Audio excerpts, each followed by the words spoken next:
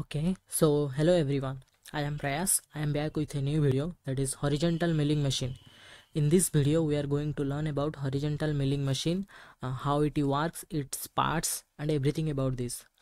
And also one thing that you can download the PPT from the pinned comment section. So let's start.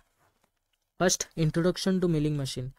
What is milling machine? Milling is a process to remove the material from the workpiece by rotating a cutting tool or moving it into the workpiece. Milling क्या होता है? Milling milling एक process होता है जिसमें हम एक workpiece से मटेरियल को रिमूव कर सकते हैं। एक कटिंग टूल को यूज़ करके। और जो मिलिंग में हमारा कटिंग टूल यूज़ करते हैं, उसे हम मिलिंग कटर और एंड मिल कटर ऐसे भी कह सकते हैं। Milling is perform to generate a flat surface and it utilises a multi point cutting tool जो मैंने बोला था जो कटिंग टूल होता है, वो मल्टी पॉइंट कटिंग टूल होता है। लेद में हमारा सिंगल पॉइंट कटिंग टूल होता है मिलिंग में मल्टी पॉइंट कटिंग टूल होता है। और इसे मिलिंग कटर भी कहते हैं। In milling the workpiece and cutting tool both are continuously engage and disengage with each other जो राइट साइड में हमारा फिगर है राइट साइड फिगर में, एक हॉरिजेंटल मिलिंग मशीन है। और इसे हॉरिजेंटल मिलिंग मशीन क्यों कहते हैं, वो हम नेक्स्ट स्लाइड में जानेंगे। Now parts. Uh, different parts are base column knee saddle table overhanging arm arbor elevating screw hand wheel cross hand wheel cutter. These are the parts of horizontal milling machine. You can see in the figure these parts. Like one front view and side view you can see. Now uh, the left one is the milling machine figure and the right one is the line diagram so, i can show you how it works. So, first, in the जो है हमारा base है, इसे हम क्या कहते हैं? Base कहते हैं। बेस जो होता है, वो कास्ट आयरन से बना हुआ होता है और ये बहुत ही स्ट्रॉन्ग बनाया जाता है क्योंकि इसे जो मिलिंग मशीन ऑपरेशन के टाइम जो वाइब्रेशन होता है, उसे ऑब्ज़र्व करना पड़ता है, इसलिए बेस को हम कास्ट आयरन से बनाते हैं।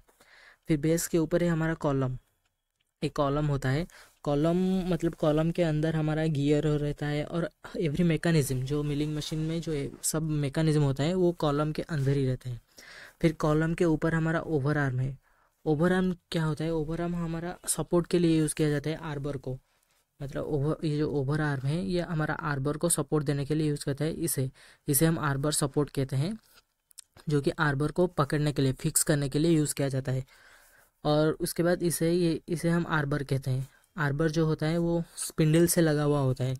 स्पिंडल से मतलब यहाँ पे ये जो स्पिंडल है, यही स्पिंडल जो होता है, स्पिंडल ये रोटेट करता है और यही रोटेशन वो आर्बर को देता है और वो rotational motion arbor cutter cutter या कटिंग टूल को देता है, जिसे वो कटिंग टूल वो वर्कपीस से मटेरियल रिमूव करता है। ये जो spindle wait I am showing you yes जो स्पिंडल ये स्पिंडल और आर्बर ये जो दोनों होते हैं, ये हॉरिजेंटली हॉरिजेंटल मिलिंग मशीन में हॉरिजेंटली रहते हैं, इसीलिए इसको हम हॉरिजेंटल मिलिंग मशीन कहते हैं। पर जो हमारा वर्टिकल मिलिंग मशीन होता है, उसमें हम हमारा आर्बर जो होता है आर्बर और स्पिंडल जो होता है, वो वर्टिकली रहते हैं, इसलिए उसका नाम वर्टिकल मिलिंग मशीन रखा गया है। Now this is this is the elevating screw elevating screw मतलब क्या होता है? ये एलिवेटिंग स्क्रू जो है, वो नी के साथ जुड़ा हुआ होता है, जिससे वो नी हमारा अप एंड डाउन मूवमेंट कर सकता है। एंड ये सैडल है। सैडल नी के ऊपर रहता है और सैडल को सैडल को हम अंदर और बाहर की तरफ़ मूवमेंट दे सकते हैं। सैडल से मतलब अंदर, यहाँ पे, इस साइड और इस साइड मूवमेंट दे सकते हैं सैडल को। उसके ऊपर टेबल है। टेबल में हमारा वारपीस को हमारा टेबल में फिक्स किया जाता है, एक वाइस के मदद से टेबल में फिक्स किया जाता है। और टेबल को भी हम मूवमेंट दे सकते हैं और उस लॉन्गिचुडनली लॉन्गिचुडनली मूवमेंट दे सकते हैं टेबल को। I hope you understand in the left figure also you can see every parts now base base क्या होता है? Uh, it is the foundation of machine and is the part upon which all other parts are mounted. जो base होता है ये ये हमारा base होता है ये मशीन का ये बेस होता है और मतलब बेस वो फाउंडेशन होता है मशीन का फाउंडेशन होता है जिसके ऊपर ही हमारा सारे पार्ट्स को रखा जाता है माउंटेड किया जाता है। It is made from cast iron and gives the machine rigidity and strength जिसे मैं पहले बोला था ये कास्ट आयरन से बना हुआ होता है और ये मशीन को रिजिडिटी एंड स्ट्रेंथ प्रोवाइड करता है। Sometimes it also serves as reservoir for cutting fluid yes जो यहाँ पे, ये ये ये यहाँ पे, ये बेस में हमारा कॉटिंग फ्लूड जो होता है, वो भी रिज़र्व कर सकते हैं हम। उसके बाद होता है knee what is knee knee is responsible for providing vertical up and down movement to the workpiece जो यहाँ पे this this portion this portion is called as knee जो एलिवेटिंग स्क्रू से लगा हुआ होता है जॉइंट क्या होता है, उसे हम नी कहते हैं। और नी रिस्पॉन्सिबल होता है providing vertical up and down movement जो नी ये एलिवेटिंग स्क्रू की मदद से ये ऊपर और नीचे की तरफ़ मूवमेंट कर सकता है नी वो कैसे मूवमेंट करेगा? यहाँ पे एक नी का एक हैंडल होता है, यहाँ पे दिस दिस वन यहाँ पे एक हैंडल लगाकर हमें उसे रोटेट करने से वो नी हमारा ऊपर और नीचे की तरफ़ मूवमेंट कर सकता है। And it is supports the saddle and table yes जो हमारा सैडल, ये यहाँ पे सैडल हो गया, यहाँ पे टेबल हो गया, ये दोनों नी के ऊपर ही रहते हैं, जिससे हमारा नी मूवमेंट करने से सैडल और टेबल भी ऊपर नीचे मूवमेंट कर सकते हैं। Knee partially supported by the elevating screw जैसे पहले ही बोला था, एलिवेटिंग स्क्रू की मदद से ऊपर नीचे होता है। Next, column. कॉलम क्या होता है? It is the main supporting frame. Wait I am showing this this part this part is known as column column क्या होता है? ये सपोर्टिंग फ्रेम होता है।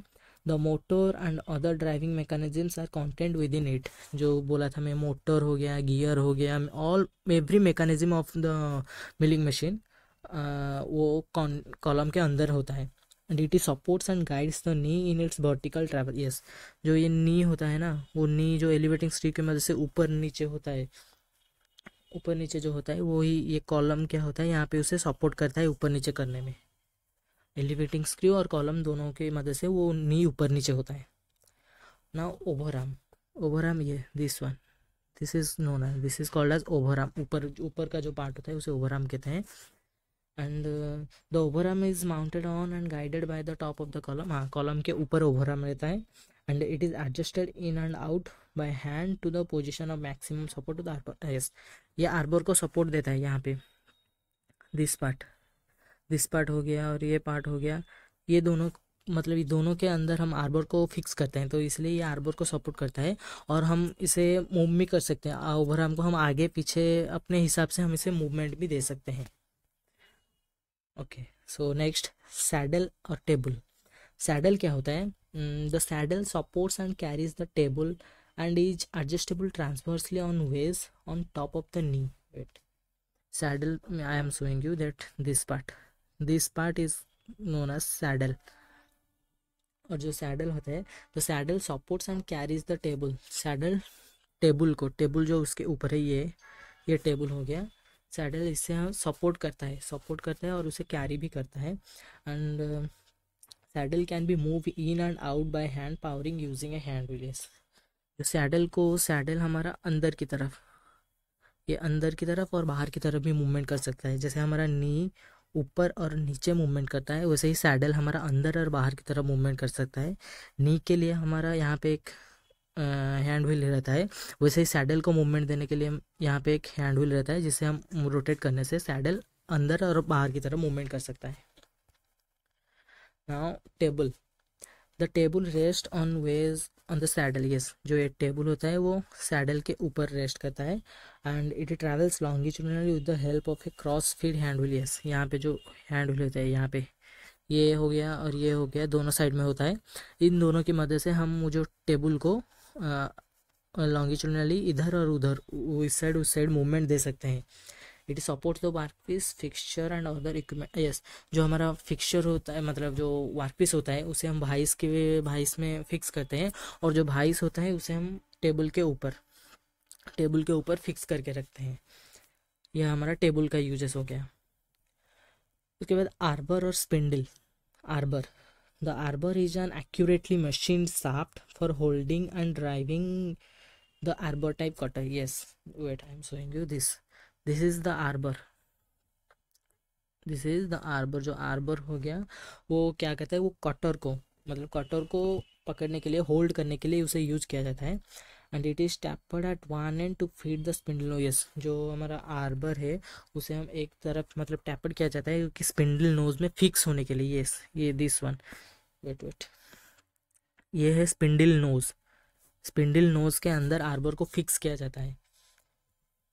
एंड देन स्पिंडल स्पिंडल क्या होता है? The spindle obtain its power from the motor through belts gears and transmit it into an arbor cutters are mounted directly in the spindle nose जो spindle होता है, वो पाव, उससे जो पावर मिलता है, जो मोटर और बेल्ट और गियर के थ्रू वो पावर मिलता है मोशन का पावर मिलता है, और वो स्पिंडल वो उससे, उसी पावर को आर्बर को देता है, और वो आर्बर उस पावर को ये कटिंग टूल को देता है, जिससे कटिंग टूल रोटेट करता है और वर्कपीस से मटेरियल रिमूव होता है। Okay, so i hope you all understand. In the next video we'll learn about the difference between horizontal and vertical milling machine. Okay, so thank you.